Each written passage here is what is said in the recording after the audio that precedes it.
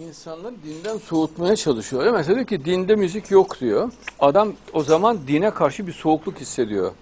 Yani müzik olmayan bir din. Yani çok korkunç geliyor bu sefer. E peki e, müzik yok. Peki başka? E, resim de yok diyor. Allah Allah. Evinde mesela adam çok güzel resimler var. Duvarlar cas cavlak kalıyor. Resimler de giriyor. E heykel, mesela güzel biblolar bilmem neler var. Onlar da dışarıya. E, gülmek o da haram. Ya kardeşim adam delirtecek misin sen? Genç kızlar kaşını alamıyor. Makyaj yapamıyor. Bakım yapamıyor. Ya bırak eğlensinler güzel olsunlar ya. Yani din diye cehennemi sunuyorlar adamlara. Namaz öyle bir tarif ediyor ki kılınması mümkün değil tarif ettikleri namaz. Bir de diyor borçlarınız var diyor. Bir de onları kılacaksınız diyor. Nasıl olacak dedim ben sordum. İşte uykunun dışında diyor. Yemek yemenin dışında sürekli o namazları ya kardeşim hadi adam 7 saat uyudu diyelim. Bir saatte günlük yemeklerin tamamı desek. Akşama kadar namaz kıldırmak bir adama bu ne demek bu ya? Ve mesela adam 20 yıl namaz kılıyor. 20 yıllık 20 yıllık namazı adama kıldırttırıyor geceli gündüzlü.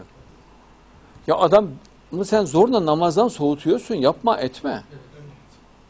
Namaz son derece kolayken sen içinden çıkılmayacak bir hale getiriyorsun.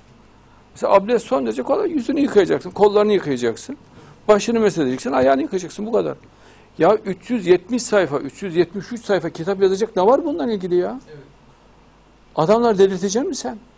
İnsan fıtratını ne kadar bozuyorlar, boğuyorlar ya. Süründürüyorlar adeta genç kızlar yani. Başörtüsü mesela altına en önce bir beyaz bir şey takıyorlar.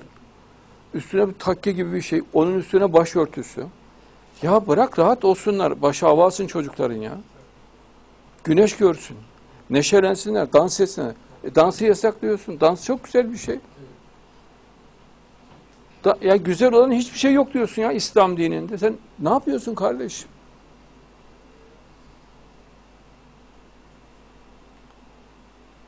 Bak lafa bak. Müslüman kardeşim müzik dinlemek sana Kur'an dinlemekten daha güzel geliyorsa bir dur düşün istersen. Şu mantıksıza bak.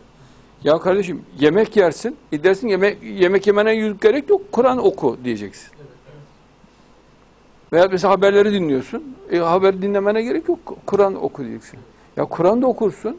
Müzik de dinlersin. Dans da edersin. Uyursun da. Hacca da gidersin. Değil mi? Ya şu laf mı ya?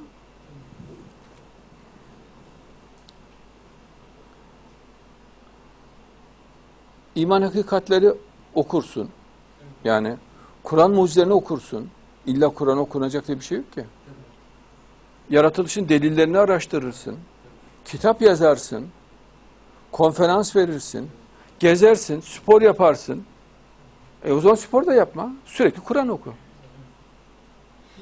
Kur'an okuduğunu zaten Kur'an öyle anlaşılmayacak bir kitap değil ki. Bir kere okusan, eğer zeki bir insan sensen, zaten Allah'ın ne istediğini anlarsın.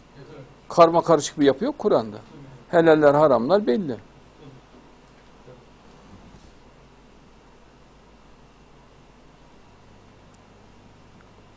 E adam o zaman mesela denizde yüzüyor. Yok çık kardeşim Kur'an oku diyeceksin. Böyle abartmaya gerek yok. Kur'an'da anlatılanlar çok kolay. Yani samimi olacaksın diyor Allah. Birbirinizi sevin, dost olun. Kimseye kötülük yapmayın, pozitif olun diyor. Bu kadar yani. Karmaşık bir şey yok. Namazlarda son derece kolay, ibadetler de kolay. Müzik helal, öyle bir şey yok. Mesela ipek istediğin gibi giyersin. Üstündeki çeker, mesela ipek. Gayet güzel. Niye giymeyesin ya? Yok altın takmak harammış. Helal olur, hiçbir şey olmaz. O devirde peygamberimiz mesela bir rekabet oluyor. Diyor ki ya ipek rekabeti var yapmayın diyor. Fakir fukara var yapmayın diyor. Haramdır demiyor. Geçici tedbirler bu. Mesela su kıtlık oluyor. Diyorsun ki ya bir litre su, suyla idare edin herkes. E adam diyor ki ömür boyu bir litre suyla idare edin dedi diyor peygamber. Farz olduğunu söylüyor. Böyle bir şey yok. Geçici alınan tedbirlerdir onlar. Mesela herkesin pota taptığı ortamda evlerde heykel bulundurmayın bu adamlar diyor. Mesela dağıtabilir diyor. O kadar. Anlamı bu.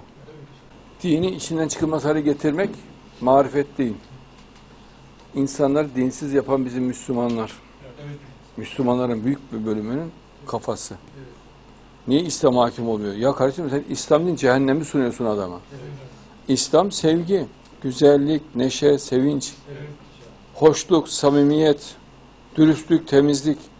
E sen ne yapıyorsun? Cehennem sunuyorsun ya. Her şeyi yasak etmişsin. Ve Allah adına yasak ediyorsun. Kur'an'da var mı? Yok. Kendi kafasına atıyor. Dini içinden çıkılmaz hale getirmek yiğitlik değil. Allah'a e, hoşnutluk sunduklarını zannediyor böyle. Ya Allah'ın dinini yok ediyorsun be adam. İslam dinini bu hale sen getirdin, sizler getirdiniz. Bütün insanlar sever normalde İslam dinini. Normal halde bıraksa aşk, bütün Amerika, Avrupa herkes Müslüman olur.